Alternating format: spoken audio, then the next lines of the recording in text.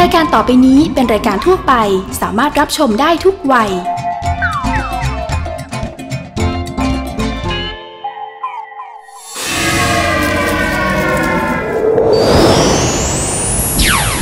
ภูริพัฒน์จะให้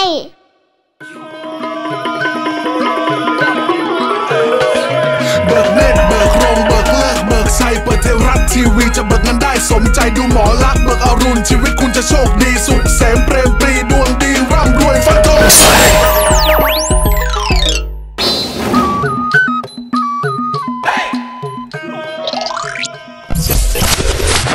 ทุกเช้าเฝ้าดูหมอลักษณ์เบิกอรุณทางไทยรัฐทีวี วันนี้ของคุณจะเป็นวันดีๆ โชคดีมีมงคลแจ่มใสเบิกบานฟันธงผมอยู่ที่อันเป็นมงคลอยู่ที่จังหวัดสมุทรปราการ เมืองนครเขื่อนขัน หรือพระประแดงในปัจจุบัน ณที่แห่งนี้ย้อนหลังไปเมื่อสัก 200กว่าปีที่ผ่านมา เป็นที่ตั้งของหลักเมืองอันศักดิ์สิทธิ์เมื่อปีพุทธศักราช 2358 จึงเป็นเรื่องสำคัญอันเป็นมงคลสืบมาตั้งแต่บัดนั้น และที่สำคัญนะครับ หลักเมืองของแต่ละจังหวัดเนี่ยอาจจะมีสิ่งศักดิ์สิทธิ์คู่เมืองเนี่ยแตกต่างกันไป ส่วนมากก็จะเป็นเสาพระหลักเมือง แต่พระประแดงเมืองนครเขื่อนขันในอดีต มีองค์พระพิคเนศเทพเจ้าแห่งความสำเร็จ เดี๋ยวผมจะพาไปบูชาสักการะ เพื่อเป็นมงคลและที่สำคัญนะครับ ผมมาตลอด ตั้งแต่เริ่มต้นดังก่อนดัง ก่อนคนรู้จักก็มาที่นี่ เพราะฉะนั้นใครที่ปรารถนาความสำเร็จ มีความรุ่งโรจน์ความเจริญก้าวหน้า ต้องมาที่นี่ศาลหลักเมืองพระประแดง องค์พระพิคเนศหนึ่งเดียวในประเทศไทยฟันธงครับศาลเขาเปิดตั้งแต่6โมงเช้าถึง6โมงเย็นเลยนะครับ ก็มีชุดบูชาจัดเอาไว้ให้นะครับ รวมบุญร้อยบาทแล้วก็ทำบุญในตู้ปัจจัยตรงนี้ก็ไปบำรุงพุทธศาสนาบำรุงศาลกิจกรรมต่างๆเพราะศาลเนี่ยเรียบร้อยสะอาดสะอ้านมาทีไรก็สะอาดสะอ้านนะครับ เรียบร้อยเป็นระเบียบนะครับ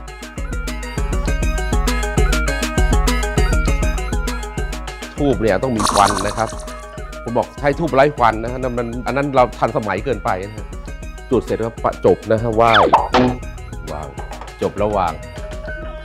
ขอจงเป็นมงคลชัยได้รับพรจากองค์พระพิฆเนศที่ข้าพเจ้าบูชาสักการะนี้ จงสำเร็จในทุกสถาน จากนี้สืบไปด้วยเถินพระพิฆเนศองค์นี้ศักดิ์สิทธิ์ ผมอยู่ในเหตุการณ์ของการทำพิธีสำคัญที่นี่ แล้วอยู่ในเหตุการณ์ที่เมื่อครั้งผู้ดูแลศาลเนี่ยขึ้นอยู่กับเทศบาล ท่านนายกเทศมนตรีที่ประเสริฐวชิระเขื่อนขัน เป็นนายกที่นี่ดูแลมายาวนาน แล้วที่สำคัญก็เคยจัดพิธีใหญ่ หล่อองค์พระพิฆเนศเพื่อเอาไว้แห่ประจำปี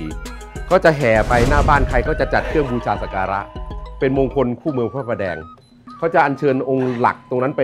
ที่เป็นหลักนี้หรือผมจะบูชาเนี่ยไปไม่ได้ก็เอาองค์จำลองไปแห่ ในพิธีการสร้างและเททองเนี่ยได้รับพระมหากรุณาธิคุณโปรดเกล้าจากสมเด็จพระเทพรัตนราชสุดาสยามบรมราชกุมารีเสด็จพระดำเนินทรงพระสุลาย ในที่อย่างนี้ก็จะมีพิธีใหญ่เมื่อสักประมาณ4ีหปีมาแล้ว ผมอยู่ในเหตุการณ์เรื่องราว แล้วก็มีพิธีพุทธาพิเศษทำบุญให้ท่าน คือพิธีนี้เป็นมงคล คณะกรรมการศาลตลอดจนทางอำเภอ ส่วนราชการทุกคนเนี่ยก็อนุโมทนายินดีชื่นใจ เพราะฉะนั้นนี่เป็นมงคลอย่างหนึ่งนะครับที่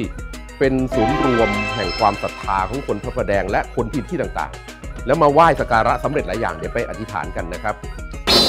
คุณจะโชคดีสุขเสมเปรมปรีดวงดีร่ำรวยฟันชีวิตคุณจะโชคดีสุขเสมเปรมปรีดวงดีร่ำรวยฟันธงใส่สนับสนุนโดย ดื่มนมถั่วเหลือง ดื่มแลคตาซอย องค์พระพิฆเนศเนี่ยนะครับเป็นเหมือนกับแกะจากหินเกลี้ยงนะครับ คือยิ่งเก่ามากเนี่ยให้สังเกตนะครับพุทธศิเอ่อเทวลักษณะเนี่ยถ้ามีเครื่องทรงลายกระหนกกระหนกอันนี้ใหม่ อันนี้เกลี้ยงเก่าแล้วเป็นเอกลักษณ์เลยนะครับ ไม่ได้มีอะไรวิจิตรเลยเลย แสดงว่านี่เก่าเก่าแก่มากนะครับแล้วนี่เป็นหลักเมืองซึ่ข้างข้างล่างลึกเนี่ยเป็นเสาหลักเมืองนะ เป็นเสาลงไปที่นี่นานวันเนี่ยเขาต้องทับถมมีการถมที่ขึ้นมาเพราะนั้นเนี่ยตัวเนี้คือส่วนส่วนยอดแหละนะครับ เพราะนั้นนี่คือสิ่งที่เป็นมงคล แล้วก็ไหว้บูชาสักการะอธิษฐานนะครับโอมสีคเนสายนามะโอมสีคเนสายนามะโอมสีคเนสายนามะข้าพเจ้าขอบูชาสักการะองค์พระพิฆเนศอันศักดิ์สิทธิ์ขอท่านจงประทานมงคลชัยให้เกิดขึ้นแก่ข้าพเจ้า งานที่ข้าพเจ้าทำด้วยความตั้งใจในสมาชีวะจงสำเร็จทุกการเทิน จงมีชีวิตที่รุ่งเรือง ดุดดอกราวเรืองที่ได้ถวายนี้ จงเป็นที่รักแก่ชนทั้งหลาย ขอให้รายการหมอรักเบิกอรุณ และผู้ชมสปอนเซอร์ ร่ำรวยทั่วหน้าทุกคนเทินขอจงสำเร็จโดยฉับพลันทันใดเทินคืออยามาถูองค์ท่านนะครับ นานวัยเนี่ยเป็นศิลปะวัตถุนะเนี่ยเป็นของสำคัญนะครับ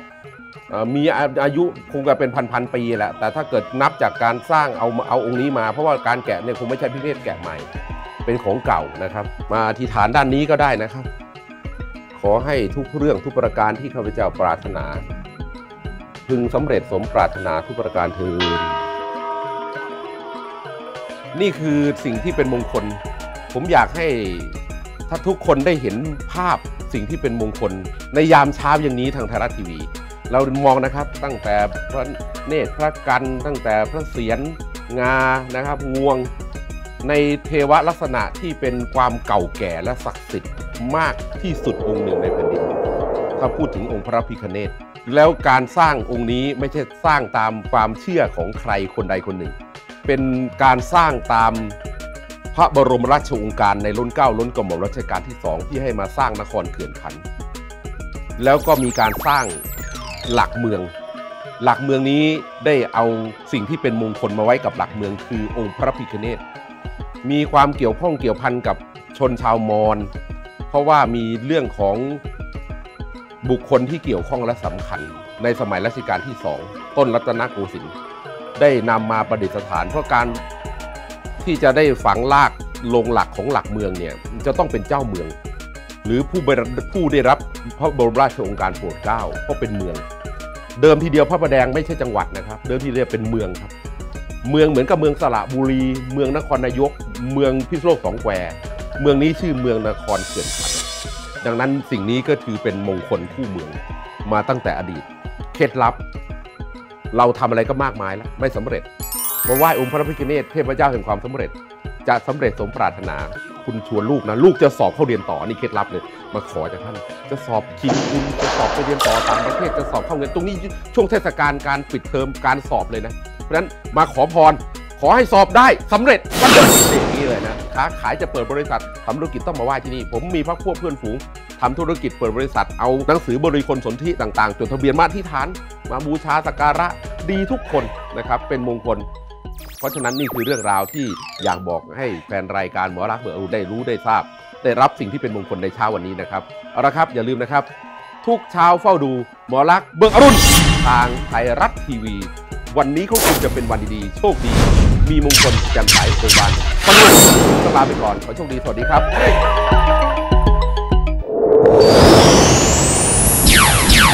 โพลิพัท